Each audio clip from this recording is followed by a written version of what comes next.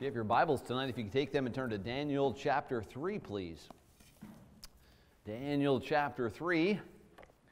All right, we're in Daniel chapter 3. What story are we going to look at tonight? Not Daniel, Shadrach, Meshach, and Abednego. Susie knows her Bible. All right. Wonderful. We've been talking about difficult times in our life and how do we react when we go through difficulties and fiery trials that we're going to see here tonight. And you know, the, the normal thing for a Christian to do, for the human being to do, is to just try to hide from the trials and to run from them and to, seek refuge in anywhere but God. And what God is showing us, we'll see again here tonight, that in our Christian life, the closer we grow, grow to the Lord, we need to be able to depend on Him and trust in Him during those times. And if we do, we'll find a refuge that there is nothing like Him in the world. There's nothing that this world can offer you that is anything like our God. And so while the world will run to alcohol, the world will run to psychologists and counselors and whatever it might be to try to get the answers of life, true freedom and true joy and true peace can only be found in Jesus Christ. And that's what we're going to see here in Daniel chapter 12 tonight. We're going to talk about one of the greatest accounts in the Bible of overcoming insurmountable odds. Last week we were together, we looked at the story of David and Goliath and how little David beat Goliath, and it was a miracle that day. But Daniel is now in the land of Babylon, along with the, all the captives uh, from Judah. What uh, Nebuchadnezzar did is when he went into Judah and Jerusalem there before he destroyed it, he captured all of the people that were of any value to the kingdom of Jerusalem. And uh, he captured a lot of those Jewish young boys, and they were very smart. They were taught to be astronomers, they were taught the sciences. And so Nebuchadnezzar used them in the kingdom. And I don't know what the conversation was like when that 600 mile journey between Jerusalem and Babylon, but I can only imagine as the children of God, Shadrach, Meshach, Abednego, Daniel, boys that were brought up to fear the God of the Bible, as they traveled that journey from Jerusalem to the pagan capital at that time, Babylon, what they would have talked about. Now, we get to Daniel chapter 3, and you know the story, most of you, if you've been to Sunday school before Shadrach, Meshach, and Abednego in the fiery furnace. You've heard that story before, but what the Bible doesn't tell us is the events that led up to this in the life of these men. Now, there probably had been plenty of opportunity for them to decide what they were going to do if the day finally came that they had to choose between serving God and serving men. And I, and I share this as we get into the scripture this, this evening, Faithway family. The whole COVID shutdown thing in the country has really brought a lot of people um, to the point where they have to choose between a government that is overreaching or a government uh, of the people, by the people, for the people. Which is it going to be? And if there comes a time in which the government tells Christians that they cannot worship for whatever reason it might be, it's kind of been eye opening to me how many Christians have said, oh, well, you know, the government doesn't recommend we worship right now, so we're just not going to worship. We're going to kind of stay away because that's what the government says to do. Unfortunately, there are a lot of Christians who don't take the command of God not to forsake the assembling of ourselves together as something that's very serious.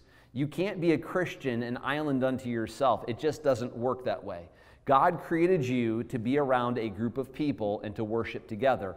And I can guarantee you that there is coming a day in our country in which we are going to have to take a stand whether or not we are going to serve God or we're going to listen to the edicts of the government. And it may not be a pandemic, it may be something else that comes along the line, but there will be a day in which we're going to have to choose are we going to serve God or are we going to serve man?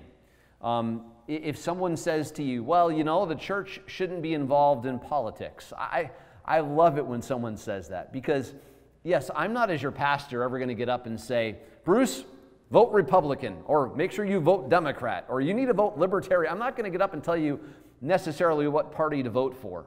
But I will tell you there, is a, there are truths and there are absolutes. And when it comes to what is life, we all know life begins at conception, don't we? And everybody out there in the world, if they were truly honest with their conscience, they know what they are doing when they kill a little baby. They know that they're killing a baby when they have an abortion. They know it, but they choose to hide it.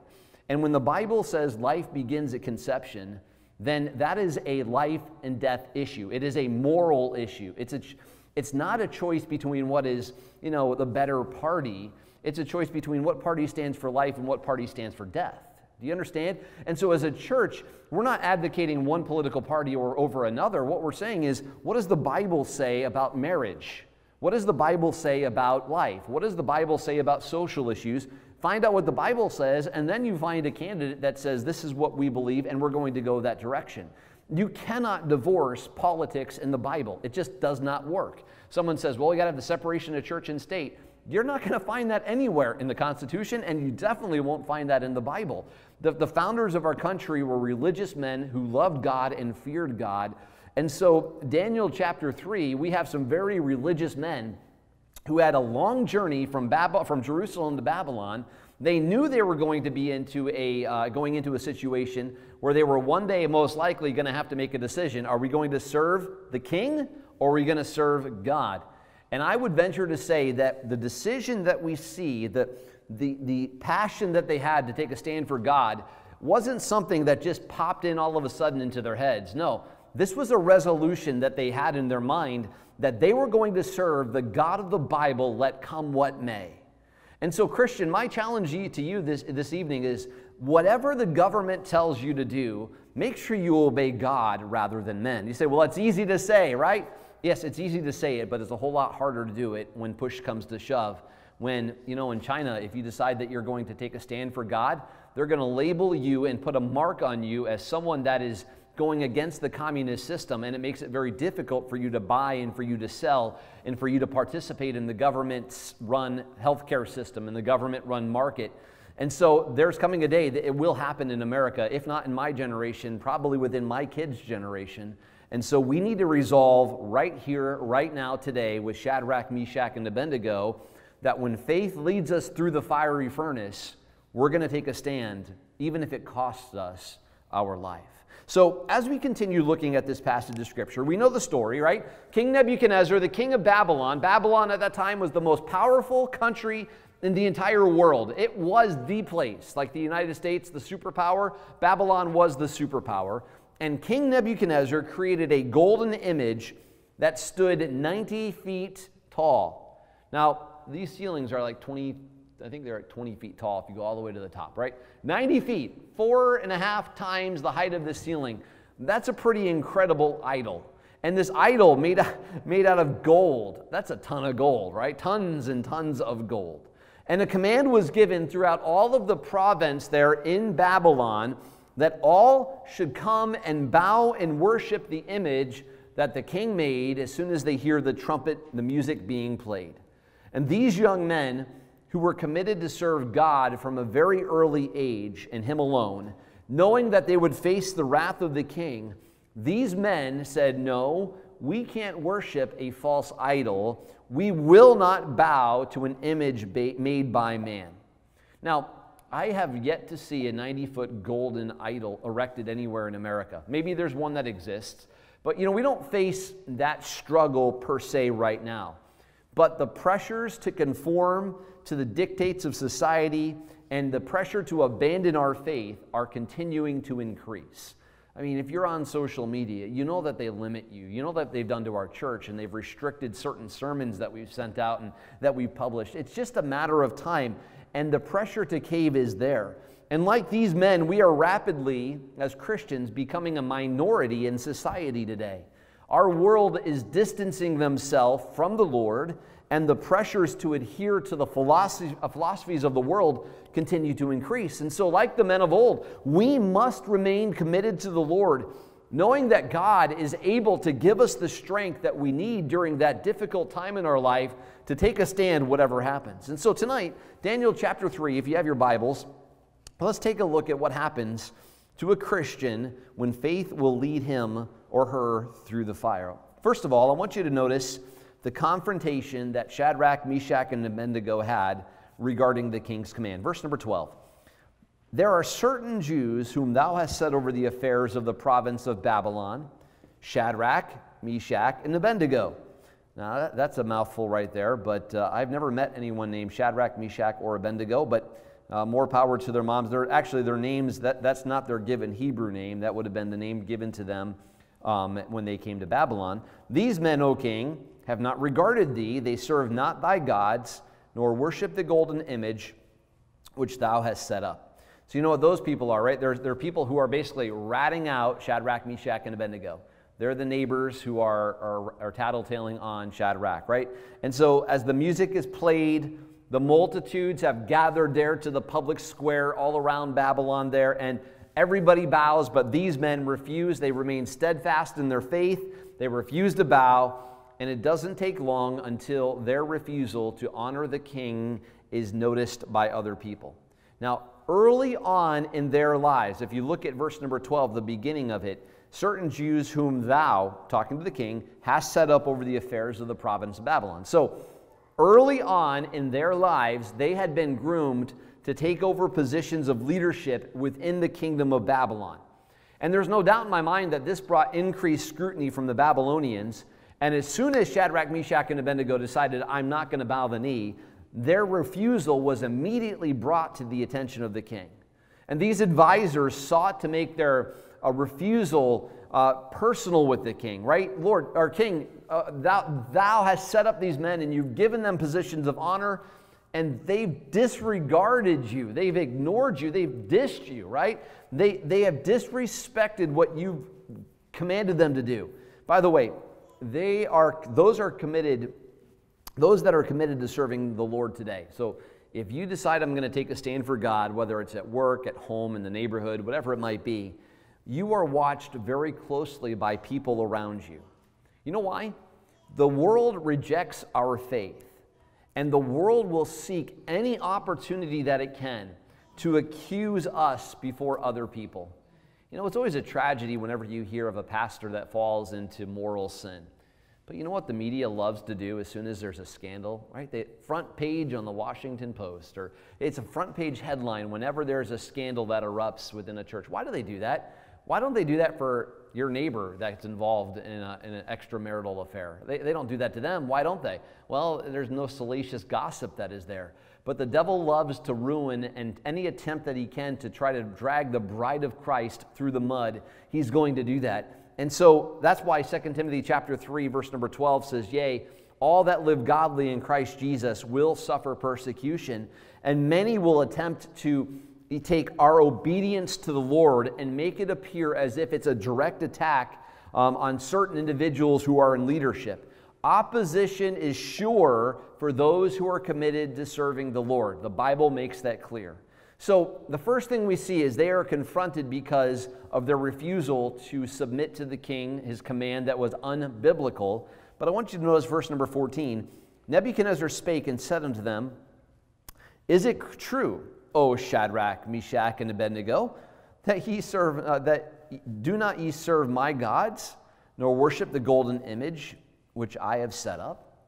Now this is pretty phenomenal here. These three men, they are ushered into the presence of the king of the greatest country in the world at that time. And the king obviously knew of them. He put them in positions of leadership. And so they have this personal audience one on one with the king. And I mean, I can't help but think that normally such I, I guess it would be disrespect, if you want to call it that, would not be an issue that the king would handle himself, right? It would be dealt with by his minions and it would just be taken care of and they would probably be executed and nobody would even know, be the wiser, the king especially. But the Bible tells us here they have a direct audience with the king. And he heard the accusations and he was determined, I want to figure out what's going on with my three advisors. Why aren't they bowing the knee and obeying what I told them to do? Now, you and I may never be forced to stand before the authorities because of our faith, but then again, we might. Because believers in Jesus Christ are no longer a majority in America, and throughout the world, they definitely, we are definitely outnumbered. Many who reject the Lord desire to weaken our faith and intimidate those who are committed to the Lord. And so the king says, What's going on? And if you'll notice in verse number 15, he gives them an, a, one more opportunity. Nebuchadnezzar says to these guys, If ye be ready, that at what time you hear the sound of the cornet, the flute, the harp, the sackbut. I always thought that was kind of an interesting instrument, the sackbut. What in the world is that? Until a couple years ago, we were in Phoenix, and uh, they have a museum there of mu mu uh, musical instruments from all around the world. I mean, we're talking thousands and thousands of instruments. And uh, we're going around, and you hit the button, and you can hear every instrument being played electronically, you know, and and we're going, we go to one display and there's a sackbut. I'm like, it does exist. There is such a thing as a sackbut. And I guess it's uh, from the Middle East, it, kind of like a little guitar or a little harp that they would play over there during that time. But there is such thing. So you have the, the flute, the harp, the sackbut, the psaltery, the dulcimer, all kinds of music. When you hear these things, you fall down and you worship the image which I have made. Well, but if you worship not, here's the punishment, you shall be cast the same hour into the midst of a burning, fiery furnace. And who is God? That, who is that God that shall deliver you out of my hands? So, whatever patience the king had at this point, right, wherever he's at, he is now wearing that patience very thin. And King Nebuchadnezzar assures them, Your rebellion and your disobedience is not going to be tolerated anymore. This is one final opportunity. I've given you the best that Babylon has to offer. I've given you a position of, of authority. You've disrespected me personally by not worshiping the idol that I made. So I'm going to give you guys one more choice. Two options, right? You can either burn or you can bow.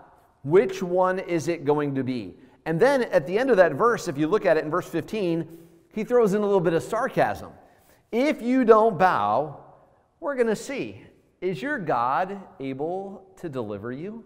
Kind of like a challenge, right? The king of this earth, the God of this earth versus the God of the Bible. Let's see who's going to win. And you know how the story goes, but just for sake of our time together tonight, let's pretend like you don't know the end of the story. Because there is a reality for many believers around the world who are forced to choose between their lives and serving God. And most Christians who give their life on the foreign field, mission field, wherever it may be around the world, when they have to choose between serving God or off with your head, they're going to take a stand and they're going to serve the Lord up until the very end. We don't face that persecution in America, but it may very well come to that one day. One thing is certain, though society declares that we must bow to their philosophies or we must face its wrath. You see that over and over and over again, and I guarantee you they will come. One of the ways they're going to target the churches, I can guarantee you this, is they're going to go after our tax exempt status. They're going to say, well, if you're a church and you continue to espouse um, the doctrines of hate, right, regarding marriage and regarding different things, the Bible makes very clear, then we're going to say you no longer are exempt from taxes. Okay, they'll go after that. They'll probably, they, there's certain allowances, things they give to pastors and different things that make a huge blessing for ministries. They're going to go after those things. And then they're going to start saying, that is a place of hate, it's a place of intolerance. We're going to close down the doors because we do not tolerate hateful places like that in our culture. Right now, you say that would never happen. Well, you've heard about the Christian businesses that are being sued because they say, well, we have a biblical, this is what the Bible says about marriage, and because I am a baker, and I, have, I believe the Bible to be true, I am not going to do this. Or as a photographer, I will not participate in this.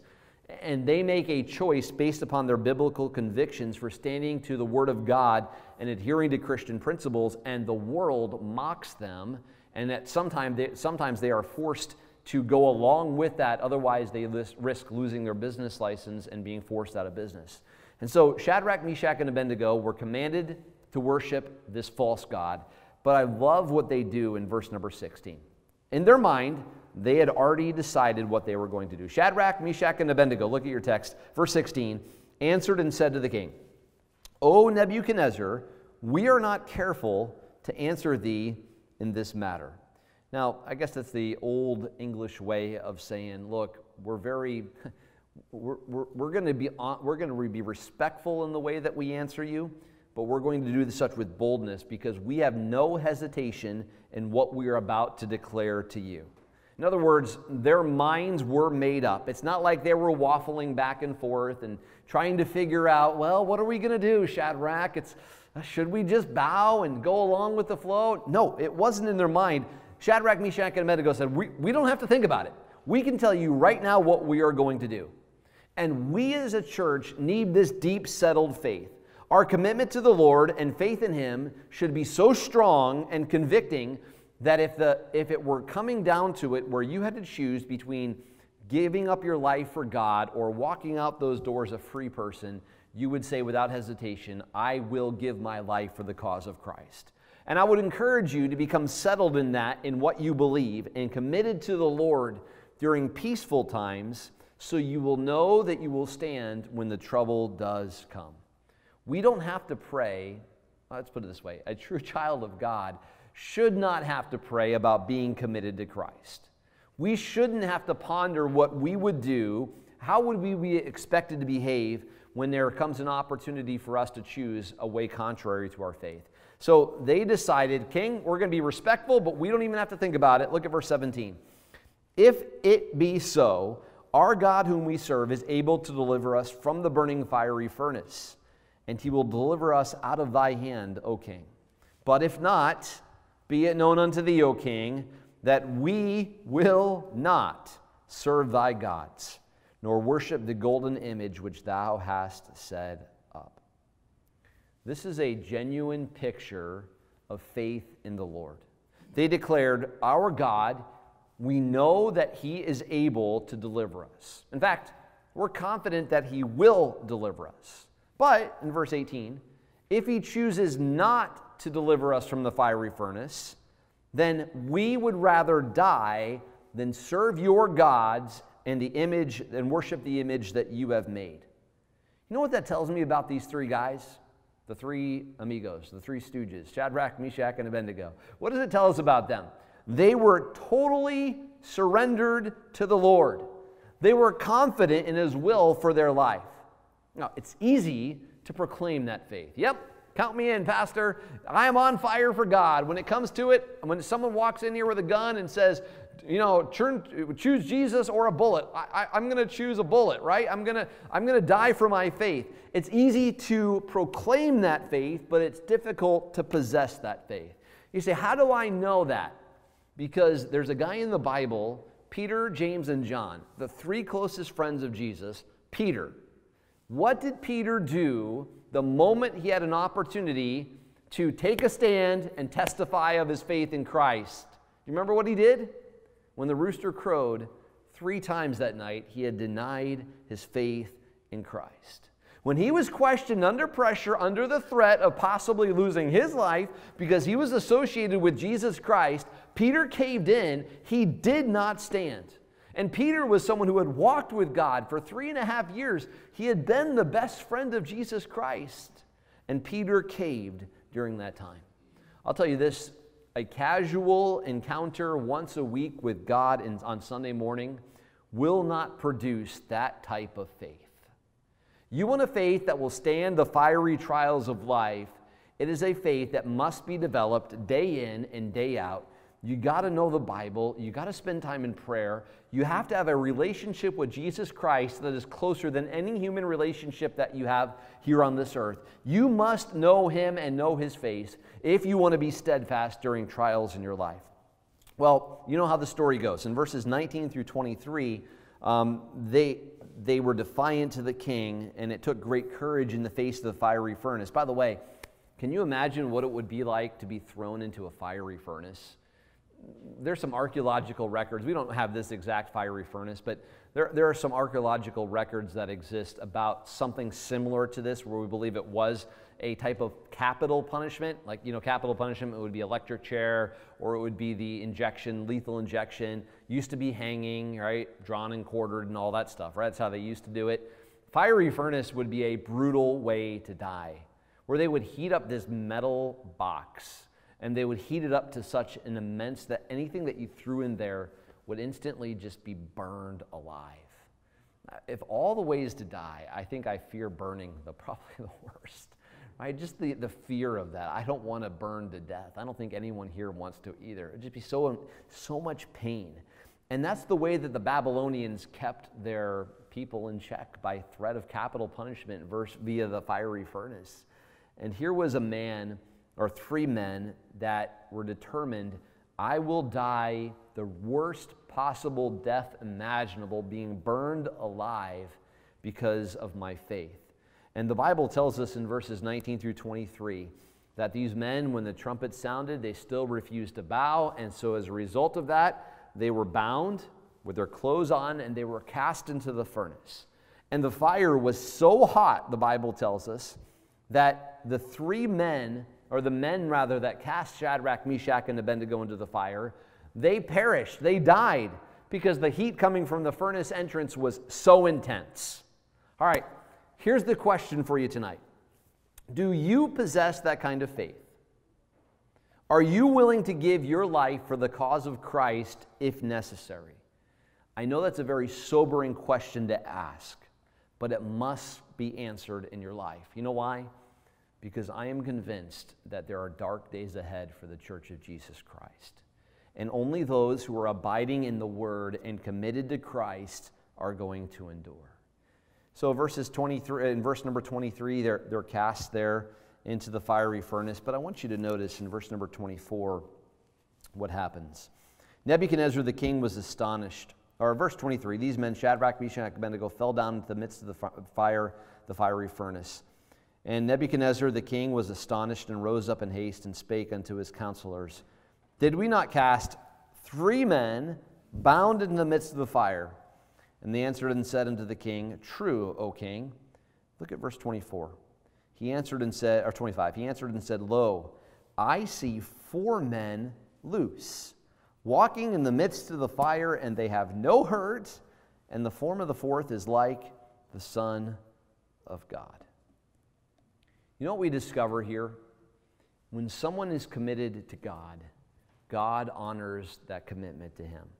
And although they faced certain death, Jesus Christ did not forsake them. You say, How do you know it was Jesus?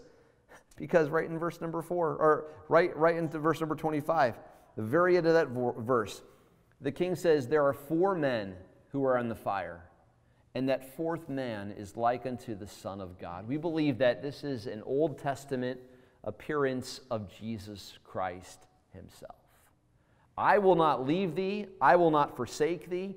And although they faced death, that was for sure it was going to happen they were not alone in the middle of that fire. The Lord was there with them. And as Nebuchadnezzar, the king, looks into the fiery furnace, he can't believe what he's seeing with his eyes. He questions his advisors and he says, How many did we throw into the fire? And they say, King, it's only three guys Shadrach, Meshach, and Abednego. Those are the only ones. And the king admits the fourth was like unto the Son of God. You know, tomorrow you and I have no idea what we will face. The phone could ring at midnight tonight and you could get some tragic news that will rock your world for the rest of your life. We have no idea what we will face tomorrow, but we do have the assurance that we will never be forced through the trials of our faith alone. I want to remind you tonight that Jesus will always be there for his children. Regardless of what we, we face, he will never leave us and he will never forsake us. In fact, he's gone, the Bible says, to prepare a place for us and one day, either you will face death or you will be raptured up in the church one day. You will be caught up together with them in the clouds to meet the Lord in the air. He's gone to prepare a place for you, and He's going to call every believer unto Himself. What a day that's going to be when we see Jesus face to face. I want you to notice the end of this passage of Scripture. Look at verse number 26. And Nebuchadnezzar came near to the mouth of the burning fiery furnace and spake and said, Shadrach, Meshach, Abednego, you servants of the Most High God, come forth and come hither. All right, then Shadrach, Meshach, and Abednego, what do they do? They come walking out of the fiery furnace, the midst of the fire. And the princes and the governors and the captains and the king's counselors being gathered together saw these men upon whose bodies the fire had no power, nor was a hair of their head singed, neither were their coats charged, nor the smell of fire had passed on them. You know, we have in the back of our, our yard, we have a fire pit, and Isaac and his buddies like to put a little fire in the fire pit from time to time. And whenever Isaac has been lighting a fire in that fire pit and roasting marshmallows, and he comes into the house, I can always tell that he's been around fire. How can we tell? Because of his clothes and the smoke that are on his clothes, right? They stink. And there's that charring smell just from being around fire. Can you imagine being in the midst of fire? Like your clothes, they don't even smell, the Bible says, the end of verse number 27. Not even the smell, smell of smoke. Keep in mind, the, the soldiers that threw them in, They were the ones who had perished, right? But Shadrach, Meshach, and Abednego survived the furnace and they were able to walk out under their own power with no visible damage from the fire or from the smoke. Their garments weren't charred. If you had been one of the governors or the advisors that were there and witnessed that these, event, these events, um, if, if you hadn't seen it with your own eyes, there would be no way to prove that these men had encountered the fire at all. That's how amazing our God is. And what that shows us about our God who is in heaven is that He is awesome in power and He is full of grace and He loves and cares for those who serve Him. And God is able to deliver us from even the most impossible situation that you face.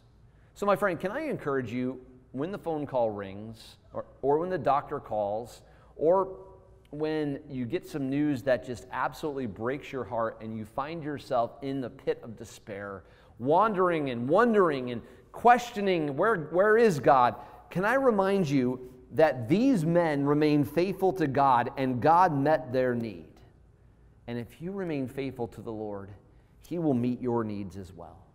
I can remember a pastor preaching on this passage of Scripture when I was in college, and I thought this was the greatest alliterated outline ever from it. I wrote it in my college Bible. He said this They didn't bow, they didn't bend, and they didn't burn. I love that, right? They didn't bow, they didn't bend, and they didn't burn. And Jesus Christ is more than able to provide for us, even in the face of certain defeat. He's able to deliver us from the trials and the burdens that we face, and is faithful to meet us. Where does he meet Shadrach, Meshach, and Abednego? In the midst of the fiery furnace. So, tonight, are you going through a fiery furnace of your own? If not, tomorrow you may be. Next month, next year, something's going to happen this year that will be a fiery furnace to you. Jesus doesn't meet you outside on the back end, the tail end of the fiery furnace when you come out. He meets you right in the middle. And you know what Satan's going to tell you? He's going to whisper into your ear, your ear, and the world will tell you there is no way that you're going to be able to survive this. You're going to be destroyed by this. This thing is going to be your doomsday. But I want to remind you what the Lord said. He said something otherwise than that. He said in John chapter 10, Jesus said, And I give unto them eternal life, and they shall never perish, neither shall any man pluck them out of my hand. My Father which gave me is greater than all, and no man is able to pluck them out of my hand. The illustration is this when you got saved, this is the hand of God. And when you got saved, God placed you into his hand, and his hand enclosed about you, and he's got such a grip on you that no matter what happens, you could find the strongest person in the world. There is nothing that can separate you from the love of God. You cannot be removed from his hand no matter what trial comes your way. So tonight, I want to remind you the Lord is faithful to those who are in the body of Christ, who are part of his family. If you're struggling, come to Him and find help and strength that you need during this difficult time in your life. If there's never been a time in your life when you've trusted Jesus Christ as your Savior, you face a storm that is greater than the fiery furnace. You face the wrath of God for all of eternity. But God loved you. He sent His Son Jesus to die on the cross for your sins. And if you ask Him to be your Savior and repent of your sins, the Bible says God will place you into His hand and no one will ever be able to pluck you out of that hand. And not only will God keep you through the fiery trials here on this earth, but God is going to take you and He's going to lead you into the promised land. He's going to lead you into heaven one day. And what a day it will be when we see our King. Let's pray together. Father, we look at the world around us and we realize that fiery trials um, are going to happen. Whether it's corporately as a church in America, or whether it's the fiery trials of life in general. There are many times, Lord, when we, we look at these things that come our way and we say, This obstacle, this thing that's in my life is insurmountable. There's no way we'll be able to overcome it. And Satan whispers, Yep, this is it. It's your doomsday, it's your defeat. Lord, help us to remember that greater is He that is in us than He that is in the world. And no one can pluck us out of the Father's hand. Give us strength, I pray, Lord, to be able to live a life pleasing to you. In Jesus' name we pray. Amen. Well, you survived an entire message with us today. Thank you for watching. We appreciate it. And uh, we trust the video today has been a blessing to you. You know, every message that I preach, I always try to bring it back to the importance of number one, telling people everywhere we go about Jesus Christ, and number two, making sure that we as individuals make our life with God, our personal walk with God, the most important thing of our day. If there's ever anything that we can do for you or your family to help you grow in your walk with Jesus Christ, would you please reach out to us? You can visit our website, visit faithway.com, and there you'll find a link to get in touch with us. And we love to hear from you. If you made a decision to trust Jesus Christ as your Savior today, awesome. That's wonderful. We would love to be able to talk to you about that and give you some resources that can help you grow in your walk with God. So let us know if there's ever anything that we can do for you. Thank you so much. Have a wonderful day.